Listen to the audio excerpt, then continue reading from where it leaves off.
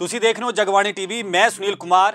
ਤੁਸੀਂ ਕਈ ਤਰ੍ਹਾਂ ਦੇ ਅੰਦੋਲਨ ਵੇਖੇ ਹੋਣੇ, ਲੇਕਿਨ ਜੋ ਅੱਜ ਅੰਦੋਲਨ ਪ੍ਰੋਟੈਸਟ ਦੀਆਂ ਤਸਵੀਰਾਂ ਅਸੀਂ ਤੁਹਾਨੂੰ ਦੱਸਣ ਜਾ ਰਿਹਾ, ਉਹ ਕੁਵਾਰਿਆਂ ਦਾ ਅੰਦੋਲਨ ਆ ਤੇ ਉਹ ਕਹਿ ਰਹੇ ਨੇ ਕਿ ਸਰਕਾਰ ਹੁਣ ਸਾਡੇ ਲਈ ਸੋਹਰੇ ਲੱਭ ਦੋ ਤੇ ਸਰਕਾਰ ਕੀ ਕਰੇ। ਇਹ ਤਾਂ ਹੁਣ ਇਸ ਨਾਲ ਸੰਬੰਧਿਤ ਪ੍ਰਸ਼ਾਸਨ ਹੀ ਜਵਾਬ ਦੇਗਾ, ਕਿਉਂਕਿ ਜਦੋਂ ਪ੍ਰੋਟੈਸਟ ਹੋਇਆ ਕੁਵਾਰੇ ਮੁੰਡਿਆਂ ਵੱਲੋਂ, ਤਾਂ ਉਹਨਾਂ ਨੇ ਕਲੈਕਟਰੇਟ ਜਾ ਕੇ ਆਪਣਾ ਗਿਆਪਨ ਦੇ ਦਿੱਤਾ। ਉਹਦੇ ਵਿੱਚ ਆਪਣੀ ਜੋ ਵੀ ਉਹਨਾਂ ਦੀ ਮੰਗ ਸੀ, ਉਹ ਵੀ ਦਿੱਤੀ ਗਈ। ਨੌਜਵਾਨਾਂ ਨੇ ਜਦੋਂ ਪ੍ਰੋਟੈਸਟ ਕੀਤਾ ਤੇ ਉਹਦਾ ਅੰਦਾਜ਼ ਬਿਲਕੁਲ ਵੱਖਰਾ ਸੀ, ਪਰ ਮਸਲਾ ਉਹੀ ਕਈ ਦਹਾਕਿਆਂ ਪੁਰਾਣਾ। ਮਸਲਾ ਵੀ ਦੱਸਦੇ ਹਾਂ, ਲੇਕਿਨ ਇਹ ਅੰਦਾਜ਼ ਨੌਜਵਾਨਾਂ ਦਾ ਹੈ, ਜਿਹਦੇ ਵਿੱਚ ਉਹਨਾਂ ਨੇ ਸੇਰਾ ਬੰਨਿਆ, ਬਕਾਇਦਾ ਘੋਰੀ ਚੜੇ ਤੇ ਸਸੁਰਾਲ ਜਾਣ ਦੀ ਥਾਂ ਕਈ ਨੌਜਵਾਨ ਡੀਐਮ ਆਫਿਸ ਪਹੁੰਚੇ ਤੇ ਢੋਲ ਨਗਾੜਿਆਂ ਦੇ ਨਾਲ ਉਹਨਾਂ ਨੇ ਆਪਣੀ ਮੰਗ ਕਲੈਕਟਰ ਆਫਿਸ ਦੇ ਵਿੱਚ ਜਾ ਕੇ ਡੀਐਮ ਨੂੰ ਦਿੱਤੀ। ਉਹਨਾਂ ਦੀ ਮੰਗ ਸੀਗੀ ਕਿ ਕਈ ਸਾਲਾਂ ਤੋਂ ਕਈ ਇਹੋ ਜਿਹੇ ਬੰਦੇ ਨੇ ਜਿਨ੍ਹਾਂ ਦੇ ਵਿਆਹ ਨਹੀਂ ਹੋ ਰਹੇ। ਵਿਆਹ ਦੀ ਮੁੱਖ ਵਜ੍ਹਾ ਹੈ ਕਿ ਕੁੜੀਆਂ ਦੀ ਘਾਟ ਹੋਣਾ। ਤੇ ਇਸ ਲਈ ਉਹਨਾਂ ਨੇ ਮੁੱਖ ਕਾਰਨ ਦੱਸਿਆ ਕਿ ਅਜੇ ਵੀ ਲਿੰਗ ਅਨੁਪਾਤ ਦਾ ਜਿਹੜਾ ਰੇਸ਼ੋ ਆ, ਉਹ ਕਾਫੀ ਵੱਧ ਆ ਤੇ ਜਦੋਂ ਤੱਕ ਲਿੰਗ ਜਾਂਚ ਦੀ ਸੂਬੇ ਦੇ ਵਿੱਚ ਗਤੀਵਿਧੀ ਨਹੀਂ ਰੁਕ ਜਾਂਦੀ, ਉਦੋਂ ਤੱਕ ਇਹ ਸੰਭਾਵਨਾ ਬਣ ਨਹੀਂ ਸਕਦੀ ਕਿ ਮੁੰਡੇ ਤੇ ਕੁੜੀਆਂ ਦੀ ਰੇਸ਼ੋ ਬਰਾਬਰ ਹੋ ਜਾਏ। ਇਹ ਤਸਵੀਰਾਂ ਹੁਣ ਲਗਾਤਾਰ ਮੁਲਕ ਭਰ ਦੇ ਵਿੱਚ ਚਰਚਾ ਦਾ ਵਿਸ਼ਾ ਬਣ ਗਈਆਂ ਨੇ ਤੇ ਦਹਾਕਿਆਂ ਪੁਰਾਣੇ ਇੱਕ ਸਮਾਜ ਦੇ ਵਿੱਚ ਜਿਸ ਨੂੰ ਵੱਡਾ ਕਲੰਕ ਦੱਸਿਆ ਜਾਂਦਾ ਸੀ, ਉਹੀ ਲਿੰਕ ਜਾਜ ਦੀ ਵਿਧੀ ਨੂੰ ਲੈ ਕੇ ਇਹ ਮਸਲਾ ਚੁੱਕਿਆ ਗਿਆ।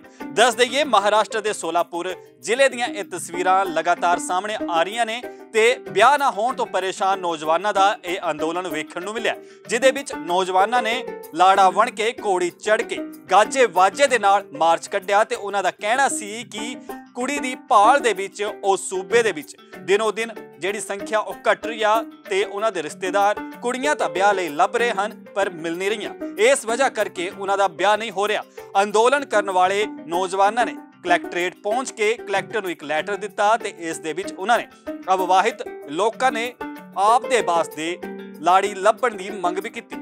ਇਹਨਾਂ ਮੁਜ਼ਾਹਰਾਕਾਰੀਆਂ ਨੇ ਕਿਹਾ ਕਿ ਉਹਨਾਂ ਦੀ ਸ਼ਾਦੀ ਨਾ ਹੋਣ ਤੇ ਸਮਾਜ ਦੇ ਵਿੱਚ ਵੀ ਉਹਨਾਂ ਨੂੰ ਕਈ ਤਰ੍ਹਾਂ ਦੀਆਂ ਗੱਲਾਂ ਸੁਣਨੀਆਂ ਪੈਂਦੀਆਂ ਨੇ।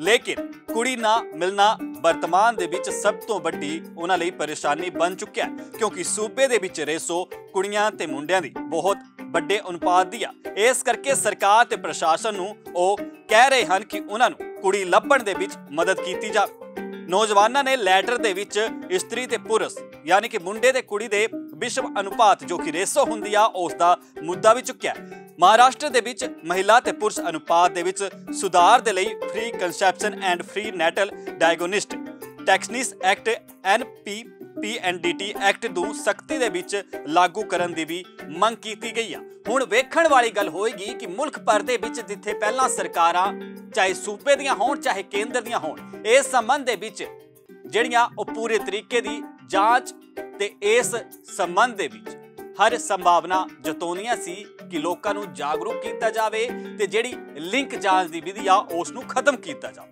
ਲੇਕਿਨ ਮੁੜ ਤੋਂ ਜਹਾਕਿਆਂ ਬਾਅਦ ਇਹੀ ਮਸਲਾ ਉੱਠ ਗਿਆ ਹੈ। ਪਰ ਵੇਖਣ ਵਾਲੀ ਗੱਲ ਹੋਏਗੀ ਕਿ ਇਸ ਮੁੰਡਿਆਂ ਦੇ ਅੰਦੋਲਨ ਦਾ ਸਰਕਾਰ ਤੇ ਪ੍ਰਸ਼ਾਸਨ ਤੇ ਕੀ ਅਸਰ ਪੈਂਦਾ ਹੈ ਤੇ ਲਿੰਕ ਜਾਂਚ ਕਰਵਾਉਣ ਵਾਲੇ ਜਿਹੜੇ ਮੁੰਡੇ ਦੀ ਚਾਹ ਰੱਖਦੇ ਨੇ, ਉਹਨਾਂ ਲੋਕਾਂ ਤੇ ਇਸ ਖਬਰ ਦਾ ਕੀ ਅਸਰ ਪੈਂਦਾ ਹੈ।